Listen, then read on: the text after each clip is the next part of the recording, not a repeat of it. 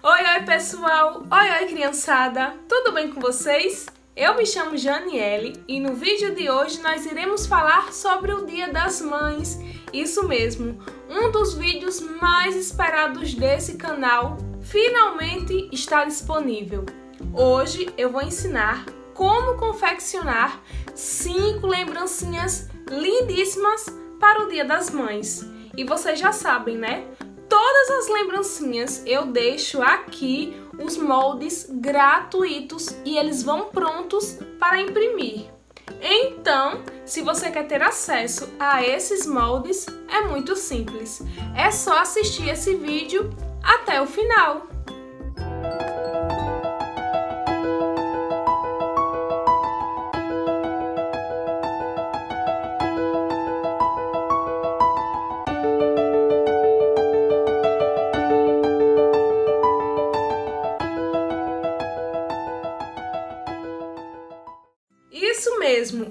Das Mães está chegando e, claro, eu não poderia deixar de homenageá-las.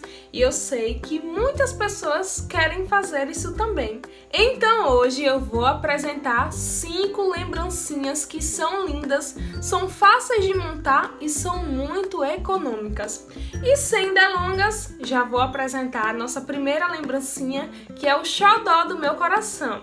Na verdade, essa lembrancinha é um cartão interativo que, além de servir como lembrancinha, pode ser feito com atividade, tanto nas aulas remotas como nas aulas presenciais. Tchan, tchan, tchan, tchan!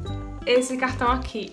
Gente, é uma máquina fotográfica que vem os filmes e dentro desses filmes as crianças elas vão poder desenhar, escrever frases ou colar fotinhas das mães. Mas o melhor, essa máquina fotográfica aqui, ó, ela é interativa. Porque esse filme aqui, ele anda aqui, ó, na maquininha. Gente, olha que coisa linda.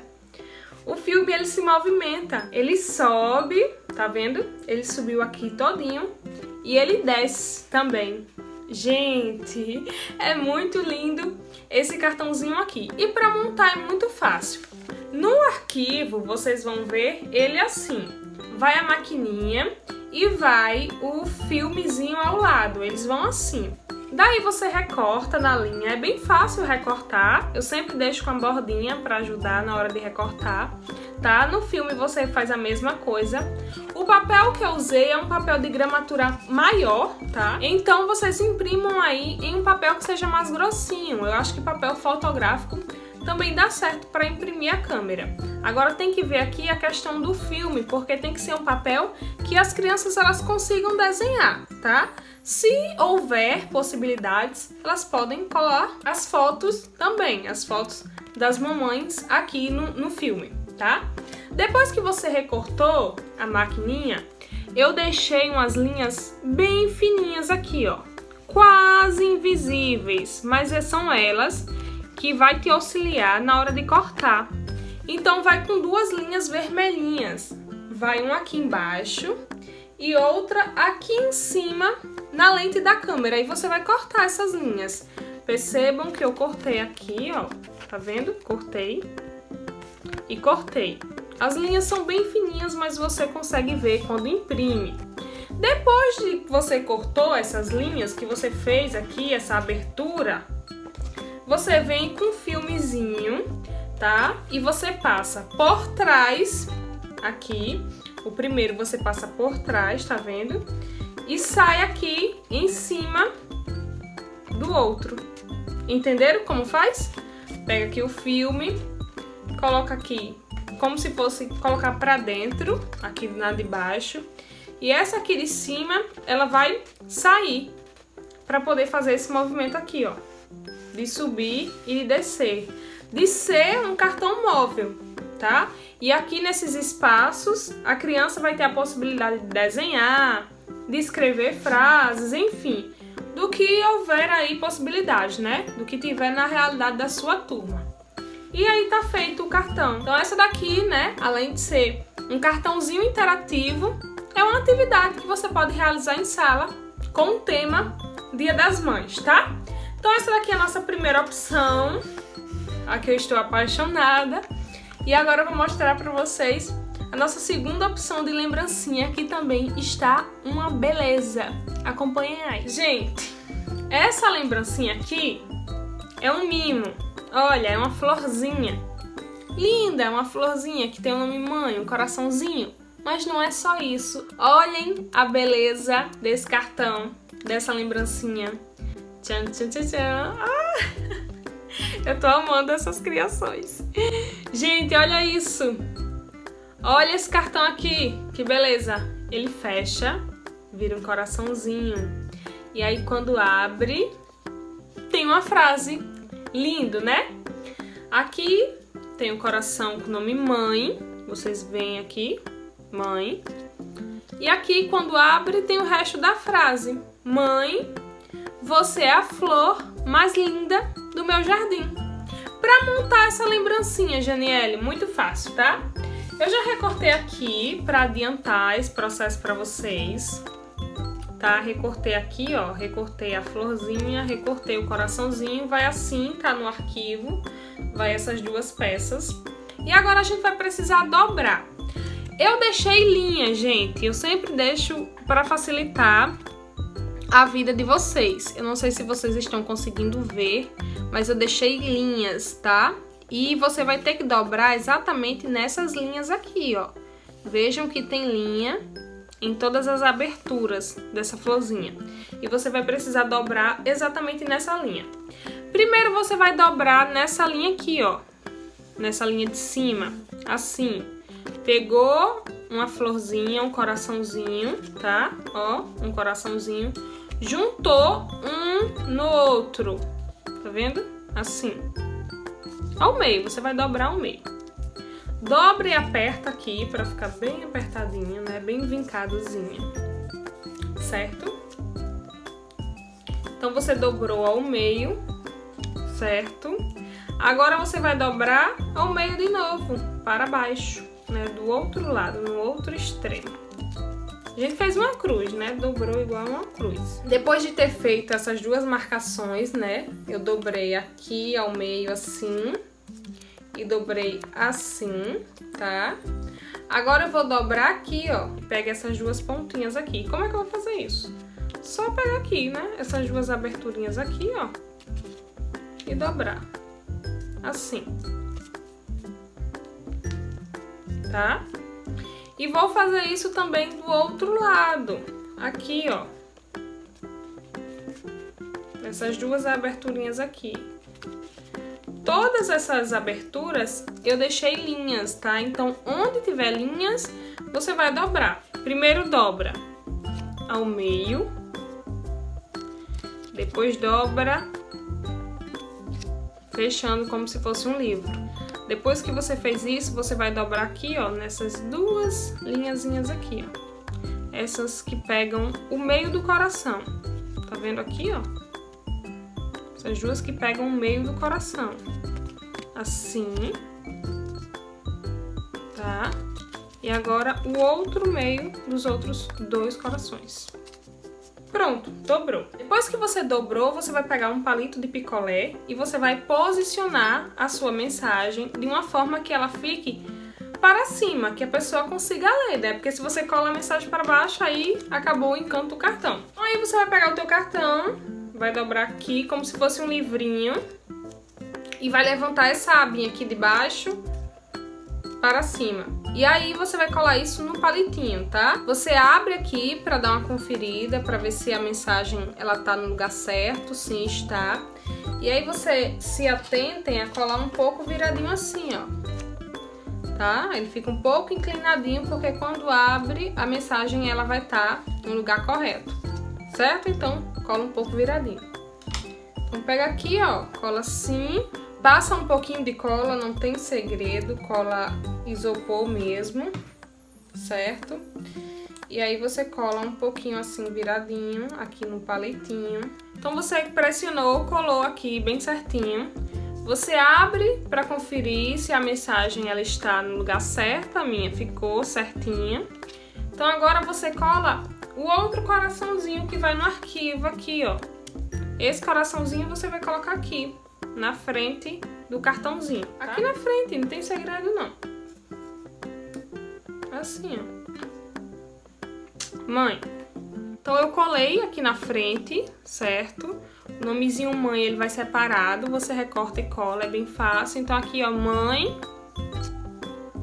Você é a flor mais linda do meu jardim. Já tá pronto o cartão. Para incrementar, gente, para deixar uma coisa mais bonitinha, eu fiz uma folhinha de papel verde aqui, ó. Cortei uma folhinha e vou colocar aqui embaixo da minha florzinha. Eu colei aqui a minha folhinha, dei um charme a mais e o meu cartão, ele já tá formado. Olha que lindeza. Quando abre, uma mensagem para a mamãe. Gente, esse cartão ficou muito bonitinho, né? Ele aberto é assim, fechado ele fica assim, ó. Lindo, né, gente? Então essa daqui é a nossa segunda opção de lembrancinha, muito fácil de montar, recortou, dobrou, você tem aí a tua lembrancinha pronta, é bem bacana. Eu vou mostrar para vocês agora a terceira opção de lembrancinha. Essa daqui é uma lembrancinha que eu já fiz para a Páscoa e já fiz para o Dia Nacional do Livro Infantil. E assim, o pessoal lá no Instagram ama de paixão. Então, eu pensei em fazer para o Dia das Mães. Na verdade, é uma etiquetinha aqui para a gente colocar nesses saquinhos. Eu coloquei aqui confetes, mas você pode estar tá colocando outro tipo de doce aqui dentro, tá? Já recortei o nosso molde, certo? Ele vai ficar assim. Como é que a gente faz para montar? Depois que você recortou aqui esse quadrado, ele tem uma linha aqui ao meio que divide essas duas frases. E você só vai precisar dobrar isso daqui, ponta com ponta, tá? Isso é muito simples. Pensa uma lembrancinha simples e linda e que faz sucesso. Dobrou aqui, então a gente já tem frase de um lado, frase do outro. E a frase diz assim: Feliz Dia das Mães. Obrigado, mãe, por todo o seu amor. Então tá feito aqui, ó.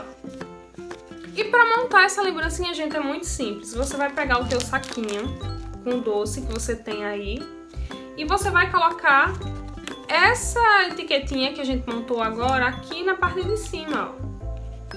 E vai grampear nesse teu saco. Pronto, já tá pronto.